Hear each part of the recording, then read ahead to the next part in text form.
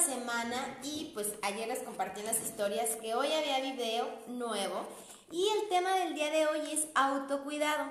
Como muchos se habrán dado cuenta, a través de mis historias pongo ah, en algunas ocasiones maneras de darnos chiqueos autocuidados. Bueno, hola Pipe. Bueno, el autocuidado primero que nada hay que ver y saber y descubrir qué es.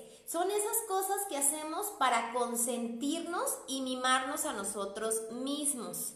Ok, muchas personas suelen tener consentirse o darse chiqueos a través de comida en exceso o comida no tan saludable que no los ayuda a, a la bienestar y a la salud. El autocuidado que yo te estoy proponiendo sí son consentirnos y mimarnos, pero preferentemente con cosas, acciones que nos lleven a la salud y decisiones y al bienestar. ¿Sí? Porque día con día conozco muchas personas que logran eh, reconfortable o más bien la comida puede ser su fuente de chiqueo y de, de consentirse único. Y eso puede llevarlo a largo plazo a problemas de salud. Bueno, ¿cuáles son algunos de los síntomas que puedes tú tener para que tú te des cuenta que necesitas tener autocuidado? ¿Sí? Puedes tener enfermedades muy frecuentes, o sea, ese es un síntoma de que no estás escuchando tu cuerpo. Síntomas en tu cuerpo, malestares, a dolores de cabeza, molestias, sea cual sea, algún síntoma Hola Lunita preciosa, te mando un beso. Espero esté muy bien tu mamá. Saludos. Sí, eh, también pérdida de capacidades físicas. ¿Qué quiere decir? Una forma de perder la capacidad física es subir escaleras y ni siquiera poder, es un ejemplo. Eh, no poder abrochar tus agujetas, perder, perder la movilidad de tu propio cuerpo. Ese es un síntoma de que necesitas autocuidado. ¿Sí? Eh, también, ah, vámonos al otro extremo, las personas que tienen obsesiones por comer saludables tienen también ese síntoma de autocuidado, pero es exagerado y también no es, eh, ¿cómo se puede decir? No es equilibrado. Y cansancio, vives en un cansancio crónico, o sea, todo el tiempo. Realmente cuando estás en ese estado es que no estás dándole las necesidades reales a tu cuerpo y tu cuerpo te está diciendo, cuídate. ¿Sí? Y también no hacerte chequeos médicos y valoraciones, no atenderte, simplemente, o sea, ¿cómo sé que necesito autocuidado? Es que no pongo atención a mi punto final, ¿sale? Bueno, ¿qué te impide que no te cuides? De nuestra infancia, de nuestra vida, nos creemos o nos dijimos que no somos suficientes, no somos merecedores o que no tenemos tiempo. O sea, son creencias o mentalidades que tenemos que no nos hacen sentir ni merecedores ni suficientes y nos compramos la idea de el no tengo tiempo, ¿sí? La desconexión con nuestro propio cuerpo también es un bloqueo. ¿Qué nos hace desconectarnos con nuestro propio cuerpo? El exceso de alimentos procesados y ricos en azúcares y grasas. Entonces, ese nos va a hacer que no tengamos sensaciones o no percibamos nuestras propias necesidades porque nuestro cuerpo y nuestras emociones están adormecidas. Y eso hace que bloqueemos los síntomas y que nos impide hacer y tener autocuidado. Miedo a enfermedades eh, es un bloqueo a no ser suficiente creer en circunstancias eh, que no favorecen, o sea, una negligencia también nos hace eh, sentir un poquito la parte del bloqueo de los autocuidados. Eh, no, no, o sea, no darnos nuestras necesidades básicas hace que nosotros no pongamos nuestra propia atención a nuestro propio cuidado. Bueno, ¿y qué pasa con las personas que tienen deseos y no se dan cuenta de autocuidarse con su forma de comer.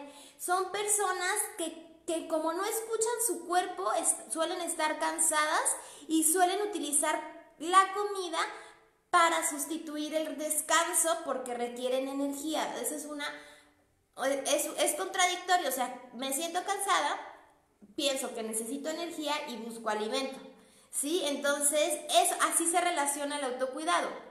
Eh, y como decíamos también, la forma de autocuidado que tiene que ver con la forma en la que nos alimentamos, como bien les dije, son como, como yo no me siento valioso, yo no me siento suficiente, yo no me siento merecedor, elijo lo peor para mí, aunque me produzca sensaciones agradables, los alimentos que son los peores, sensaciones agradables de alta palatividad, que lo he hablado con, en otros videos, de lo que viene siendo el bliss point, que son los alimentos procesados, los efectos neurológicos que nos ocasionan. Entonces, nuestro cerebro lo que hace es, dijimos, desconectarnos, pero bien, si yo no me siento valioso suficiente, entonces elijo alimentos de lo peor.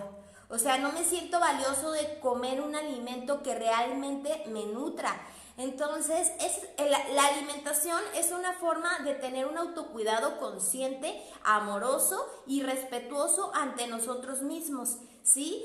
Por ejemplo, también eh, no, conductas inadecuadas al, comer, como por ejemplo picoteos, dejar de comer, como paso a lo mejor quizá largos tiempos de, sin, estar eh, comiendo alimento, o sea, no estoy atento a mis propias necesidades, entonces suelo tener ese tipo de conductas como disfuncionales o incluso atascones.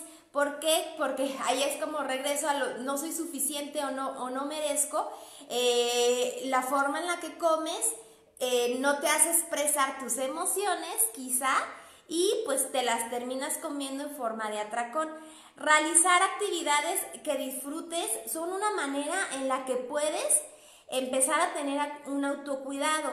¿Sí? ¿Qué a ti te hace sentir placer y bienestar que no sea alimentarte? ¿Sí? Vamos a dejar por un lado el alimento y, y generar actividades que a ti te generen y te produzcan bienestar, placer y que tú las disfrutes y que empieces a darte un tiempo para hacerlas, para empezar a cosechar esa parte de tu propio autocuidado. El autocuidado tiene que ser desde físico, mental y espiritual. No solamente, o sea, también cuidar tus pensamientos, cuidar tus relaciones, cuidar tu cuerpo. El autocuidado es algo que conlleva estas tres partes de nuestro ser que tienen que estar en equilibrio para podernos sentir en balance. Bueno, ¿cómo tener el autocuidado? ¿Cómo hacer autocuidado con nosotros mismos? Les, les comparto que en las historias suelo estar subiendo formas e ideas para tener autocuidado. Bueno, primero que nada es darte chiqueos como ponerte mascarillas, atender tu cabello, atender tus uñas, atender tus pies. Eh, esa es una manera de cuidar tu físico y se vale y no se trata de vanidad y no es un estereotipo y no, no quiere decir absolutamente nada. Es una manera y es un cuidado que tu cuerpo y tú necesitas y es una manera de chiquearte y de consentirte sin necesidad de estar incluyendo alimento que no necesitas, ¿sí? El descanso. A muchas personas el descanso se sienten poco valiosas de dárselo y es una manera también de cuidarte porque tu cuerpo lo necesita.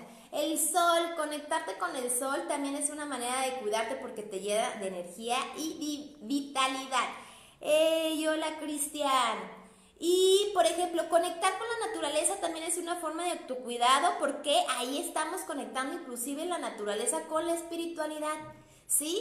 Eh, cuida tu higiene, de muchas maneras las puedes cuidar con baños lindos, baños largos, cuida tu apariencia, busca y viste cosas que a ti te gusten, colores que te llamen la atención y la ropa con la que tú te sientas cómoda, no con la que esté de moda o con la que usa su lana o con la que te dijeron que te tenías que poner. Esa es una forma de autocuidado. Come sano y consciente y en el reto derritiendo grasas, principalmente lo que hacemos, que ya está próximo, 25 de abril, para los que se quieran inscribir, conecta con tu cuerpo y con tus sensaciones, con tus necesidades. Deja los alimentos basura, deja los alimentos chatarra que te desconectan de tu centro, de tu ser y de tus verdaderas necesidades. A ver, ahora dime tú, a partir de ahorita, ¿tú qué haces para tener autocuidado? ¿De qué manera te cuidas? Y si hablamos un poquito de manera de, los pensamientos, también cuida tus pensamientos, que sean más enriquecedores, más positivos, más este, agradables. más optimistas y también eh, en el área espiritual, conéctate con tu ser superior, si, si sea con Dios o con lo que tú creas, no tiene que ser una religión en sí. ¿Sí? Esas son algunas de las formas de tener autocuidado y su importancia. Ahora yo te invito, ¿qué te comprometes tú a hacer a partir de hoy para tener autocuidado? ¿Sí? El autocuidado te enriquece física, mental y espiritualmente y también tú tienes que eh, dar autocuidado a esas tres partes de tu vida que son tu ser, tu centro y pues prácticamente eh, yo soy... Sí, les mando un beso y los invito a tener autocuidado, que no se olviden de ustedes, que sean sí a ustedes y que disfruten su inicio de semana y a chiquearse y a consentirse todos los días y hacer presencia su cuidado. Un beso.